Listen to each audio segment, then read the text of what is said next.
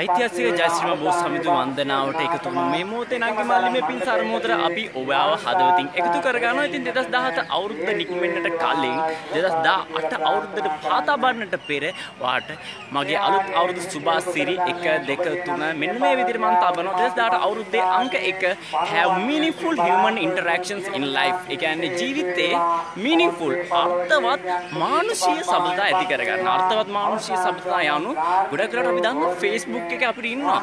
3000 friends 4000 5000 friends. ඒ වුණාට ඒ 3000 5000 එක්කෙනෙක් ඉන්නවාද? අපි ඇත්තටම personally අඳුරන අර්ථවත් මානසික සබතාවක් කන්වර්සේෂන් එක සංවාදයක් පවත්වන්න පුළුවන්. අපි ගොඩක් වෙලාවට අල්ලපු වැටේ ඉන්න මිනිහාගේ නම දන්නේ නැහැ. ඒ අප්පුහාමි වේවා කිරිබණ්ඩේ වේවා අපිත් එක්ක එදා මෙදා තුර හිටපු මනුස්සයා මිනිහාගේ නම දන්නේ නැහැ. ඒකට Facebook එකේ අපේ යාළුවෝ ඉන්නේ ඉංග්ලන්ඩ් ලන්ඩන් එමුනේ මෙන්නගේ මල්ලි ජීවිතේ අර්ථවත් මානුෂීය සබතා හොයාගෙන අර්ථවත් ගමනක් යමු අංක දෙක සුබ පැතුම අංක දෙක explore the reality of life ගවේෂණය කරන්න අපේ ජීවිතයේ යථාර්ථය මොකක්ද කියලා. මොකද මේ මිනිසා බිහි වෙලා තියෙන්නේ සතෙක්ගේ වෙනස් මේ මිනිහා. මනසක් තියෙනවා මනසාචේ පසන්නේ නේ. මේ මනස දියුණු කරන්න පුළුවන් මනසක්. ඉතින් මනස මූලික කරගෙන යන්න තියෙන ගමනක් humans are catered for a higher purpose. higher purpose එක තියෙන ඒ purpose එක achieve කරන ජීවිතයේ යථාර්ථය මොකක්ද? මේ ඔක්කොම පැහැදිලි කරගෙන ගමනක් යන්න තියෙන්නේ. අංක 3 අංක 3 මගේ වැදගත් මේක මගේ personal favorite. මොකද්ද? be remembered for good.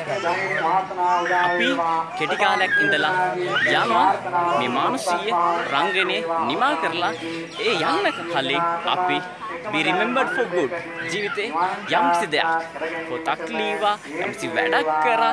මේ සමාජයට අපි මේ සමාජයෙන් අපි ගොඩ නැගුණා. හරියට ගහක් වගේ. ඒ හින්දා මේ සමාජයට අපි ඵලයක් දීලා යන්න ඒ එහෙම ගියොත් විතරයි අපි මැරිච්ච මොහොතේ පෙට්ටිය කරගහන මිනිස්සුන් පවා කියයි උනා මැරිච්ච එක අපරාධය කියලා. ඉතින් මේ කරුණු කාරණා 1 2 3 ඔයාගේ 2018 අවුරුද්දේ ඉඳන් ජීවිතේට ගල්ප ගන්න. අන්න ඒ ජීවිතේ වන්දනීය පූජනීය ජීවිතයක් වෙයි. නදු ෆ්ලවනියම් ගිහලා එන්න. මේ මගේ 2018 අවුරුද්දට විශේෂ ත්‍රිත්වය